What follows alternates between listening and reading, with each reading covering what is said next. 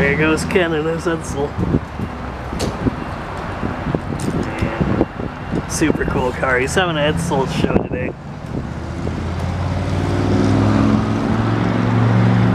There he goes.